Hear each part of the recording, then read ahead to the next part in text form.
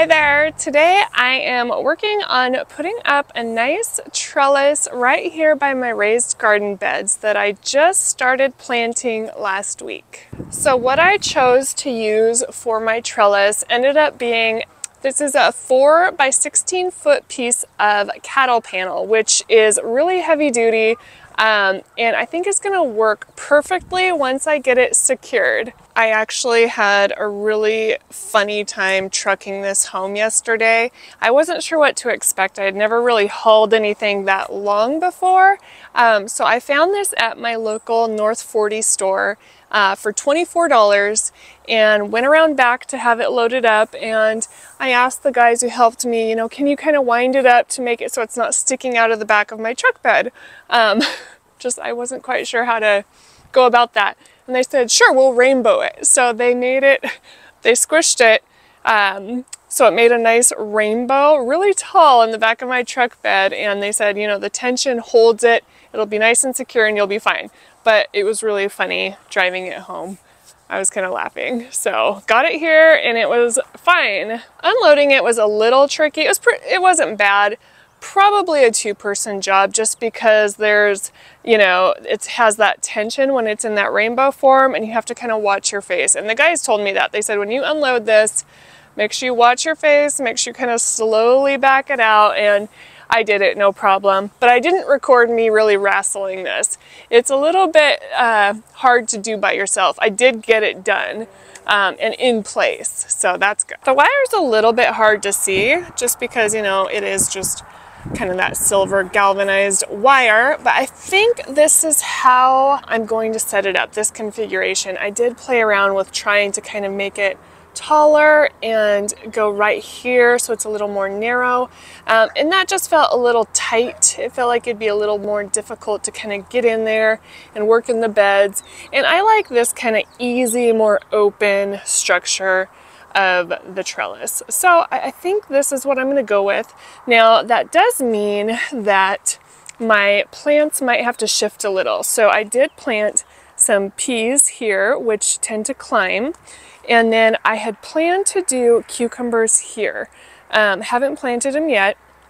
I do think there's room over here, so I think I'm just going to plan to do cucumbers here. And then because I'm not sure if those will quite fill in the trellis how I want it to be, I think I'm also going to plant some purple hyacinth beans, um, maybe in a few corners, because from what I've seen, what I've researched, that plant is a really vigorous grower. It's an annual here in our area.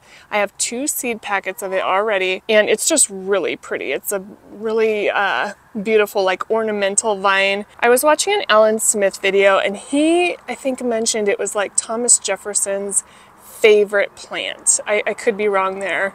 Um, so that kind of piqued my interest and I researched and I have a lot of plans for that plant. Okay, in terms of fastening this down, um, it stayed in place nicely overnight, but we do get some pretty hefty winds through this area that come from the west, so this would get directly hit. Um, in the summer, sometimes my tomato plants, once they kind of get taller, I'll come out and they'll be a little sad. So I do have poles ready to kind of stick through the cages. Um, so this definitely needs a little bit more securing. So I think what I'm going to do is here, go through and uh, do some staples just all along here. I'll line it up a little bit better. And then I do have some pieces of this rebar here that I can stick through on the other side and zip tie um, just to kind of give it a little more support. Okay, and then on this side, you can see I've already stuck through um, a few more pieces of rebar right here and then down here, and that kind of held it in place.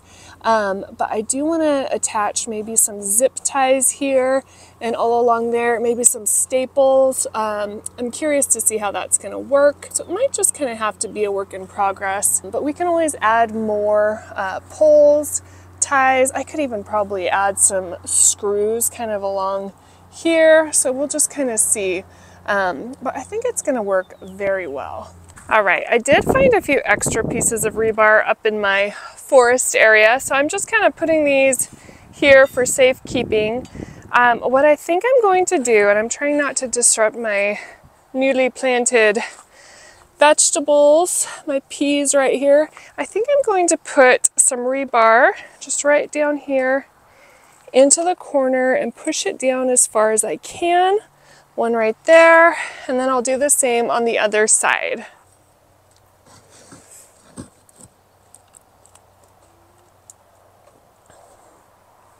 Okay, and then with those little rods, I think what I'm going to do, and this isn't the prettiest thing, but it's just going to make me feel a little bit better.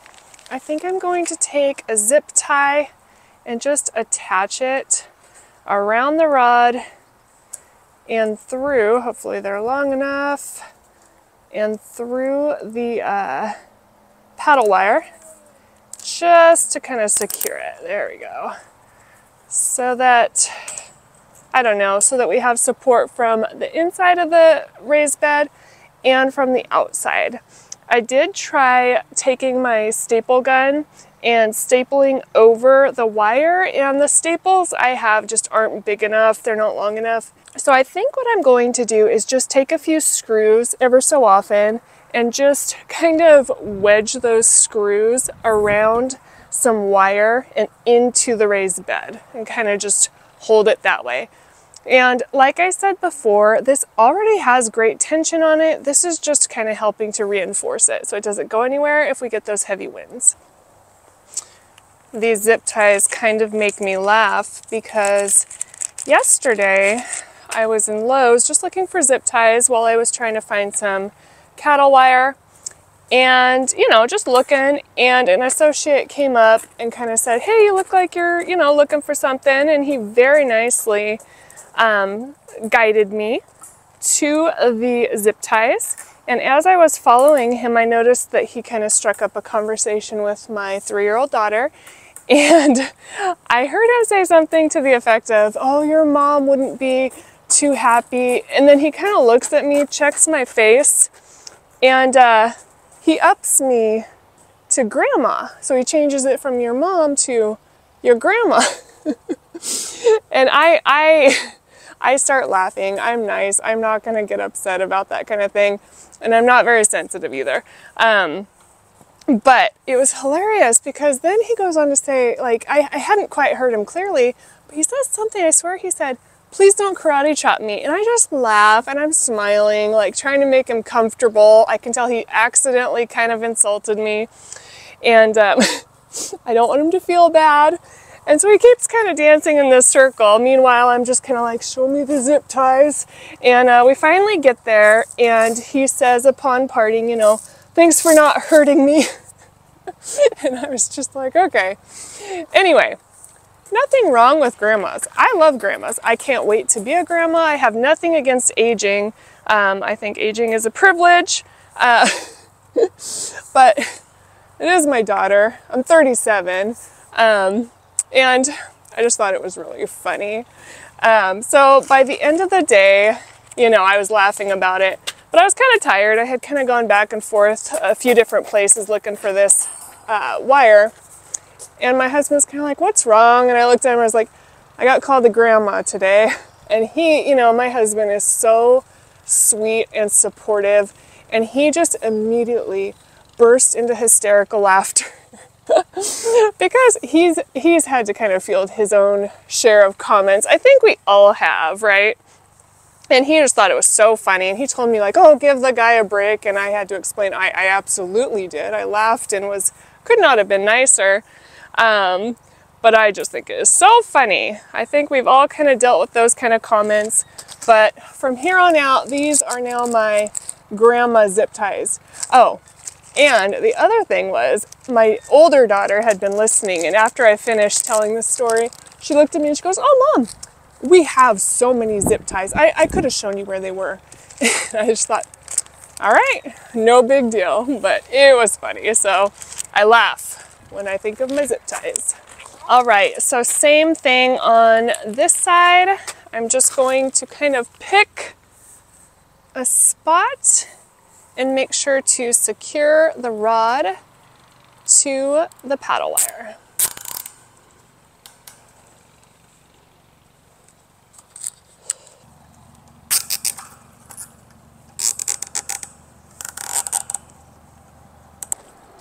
not the most beautiful thing I've ever done, but I just feel good having a little bit more uh, security. Um, and I'm going to go back through once I go grab some scissors and I'll just snip off these ends um, just so they're not as noticeable. So now what I'm going to do is over on this side, you can see I already kind of tested one here. I'm just going to go through and kind of put some little screws here and there on both sides of the wire just to kind of hold it in place, secure it to the side of the uh, raised bed.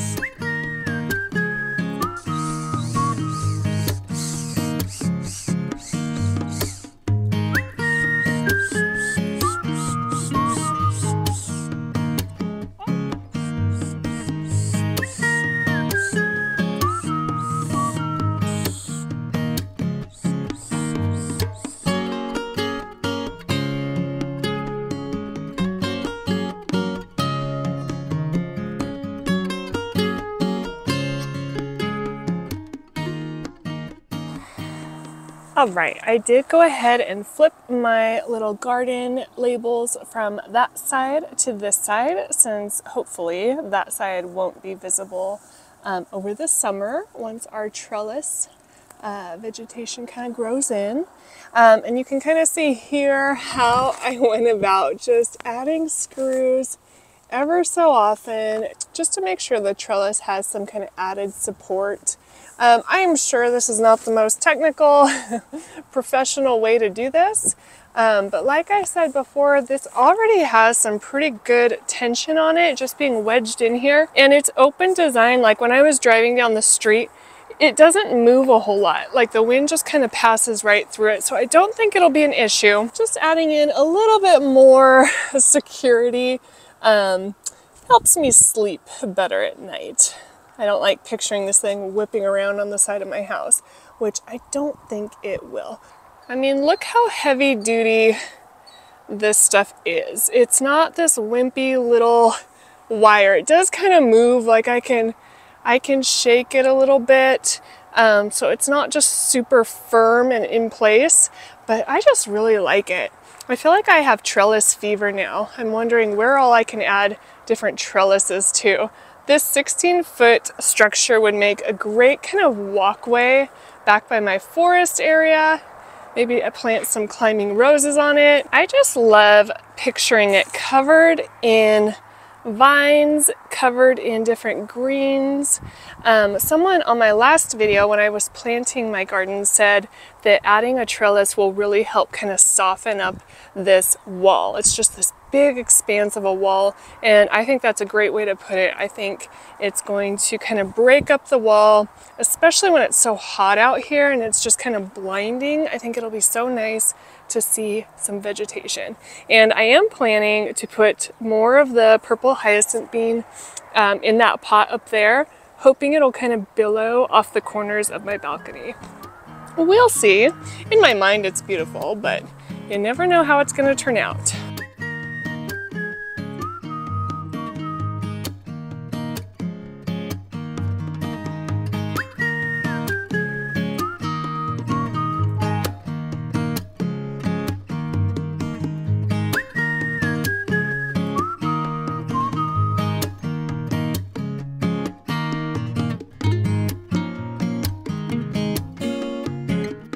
We do have our radishes that are already coming up. It's been less than a week. I think it was just a few days. I did put it in my garden journal, but radishes are so fast.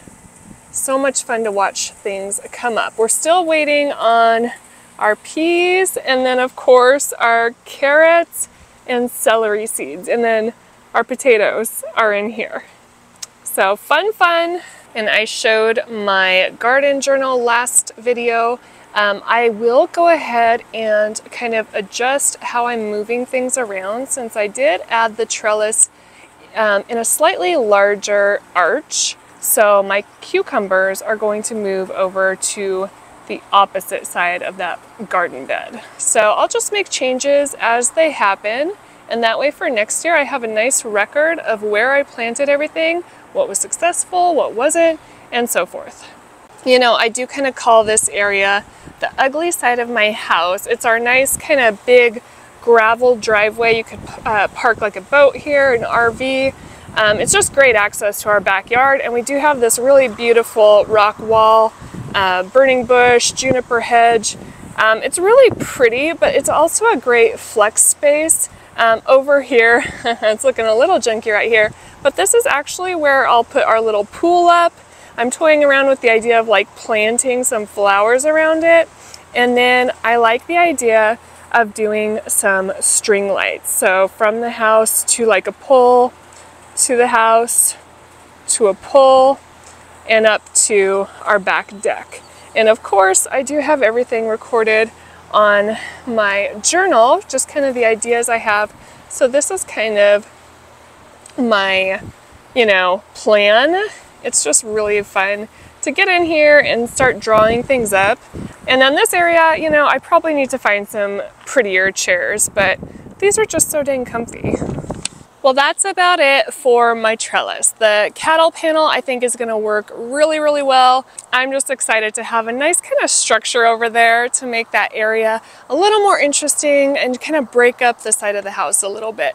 So we'll see how it goes. I will be planting the hyacinth bean um, in the next few weeks once it warms up a little bit more. Um, and then of course planting the rest of my garden. So, and again, keep in mind, this isn't anything too technical or professional. I'm sure there's a million better ways to go about securing that trellis. This is just kind of what worked for me. And if I need to take greater measures, I can definitely do that. So this is just where I'm at right now and we'll see how it goes. So I hope you enjoyed this video. Thank you so much for watching and I will see you next time. Bye.